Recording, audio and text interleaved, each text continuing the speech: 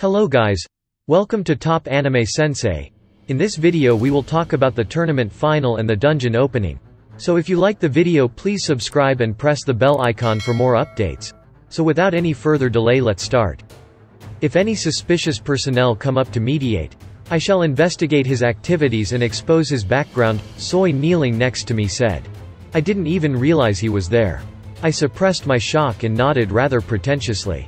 You scared me, you didn't even make a sound. I've told you before, your majesty, the residents here are far too inhuman. Visiting here yourself is far too dangerous. Kakuku, but that was quite the intriguing experience. By the way, Rimuru-san, could I ask you a question? Hmm? What does she want to know at this point? Right, ask away? I would like to form an alliance with you, but before that, I would like to hear your thoughts. The aura emitted by Elmesia suddenly changed. She was looking straight at me without any intention of hiding her prowess as a ruler. An immense pressure ensued that was almost suffocating for everyone at the scene, even Gazel was no match for her. This was, Heroes Haki. Do tell. Given this to be the case, I began to use my, Demon Lord's Haki, against her as well. We stared at each other to battle it out with our sights. I wished to confront her directly, so I did not flinch as I looked right at Elmesia. What do you plan to do with that demon? That most dangerous primordial? Primordial? Although I'm not sure what Elmesia is on about, was the demon referring to Diablo. He's indeed strong, but he's definitely not most dangerous, right? Nothing, I'm not planning to do anything. Diablo has been very satisfying working under me, is there a problem? Allow me to ask differently then. If that demon loses control, how do you plan to take responsibility? Lose control? He did concern me with that. Even this had been seen through by Elmesia, you could tell just how concerned I had been. Indeed, it wouldn't be strange for Diablo to lose control at any time. But that wasn't just a problem unique to Diablo. Despite my unwillingness to admit, I also have the troubled child that is Shion. She seemed to be concerned about me, but that was probably no problem for Elmesia-san to take care of. Well, about that. I will stop him before he loses control. That's all I can do to prevent casualties, isn't it? If there's any other way, please enlighten me. I could only try to intervene before he lost control. Diablo seemed rather happy that I said so. Huh? Hey, hold on? Ignore my accidental transformation back to my own self, but did you just say you are going to stop that demon? And take responsibility? Right.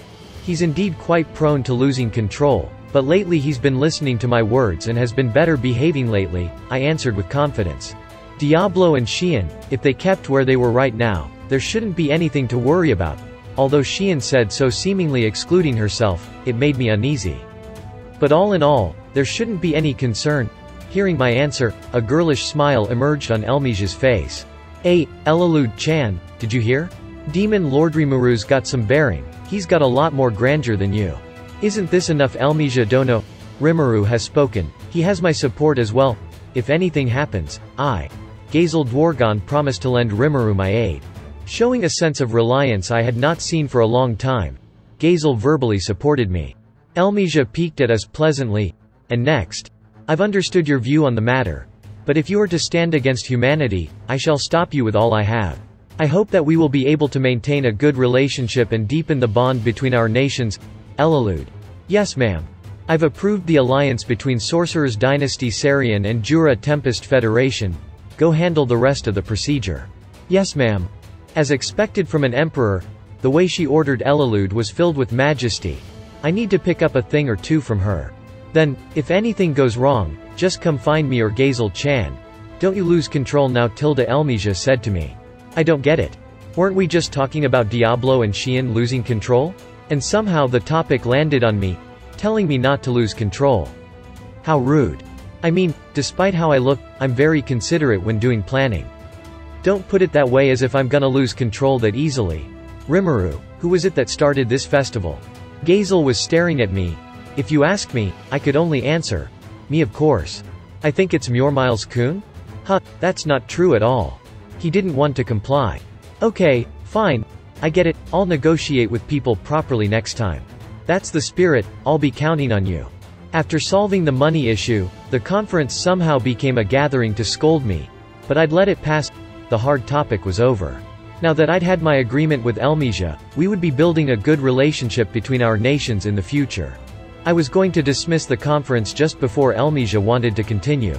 Unsure as to what she wanted, I asked nervously as well. A, is there any other problem? No no no, no problem at all. It's a personal request. Please introduce me to Master Yoshida. Hold on, your majesty, what are you on about now? That's just shameless to ask right now. Seeing how panicked Elalude looked, I imagined it was nothing severe. Yoshida-san came to our nation at the request of Shuna. I personally hoped that he would remain in our nation, but that ultimately depended on Yoshida-san. If it was just introducing him to Elmesia, that shouldn't be a problem. Easy peasy.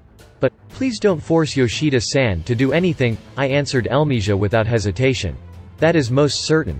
Elmesia was happy to accept as well, we would introduce them after the celebration.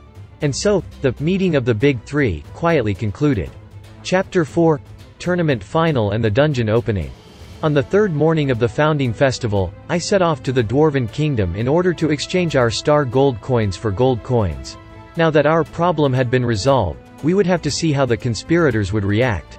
With this done, I had nothing else to worry about, so I could just enjoy the celebration. We would be starting the day with the final battle between Masayuki and Gobta, the stands were packed with anticipation and people were all enthusiastic about making their predictions about who would be the winner and some even opened up a betting pool. Miles was hoping to make the most of this by making the only winning play. Be the guy running the business. No matter your prediction, you'd still make money. This is the secret to any gambling operation. I put my money on Gobta, mainly to make some more pocket change, not because I expected to win. That was irrelevant, the important thing was to give Gobta my support. Next, we are finally entering the final.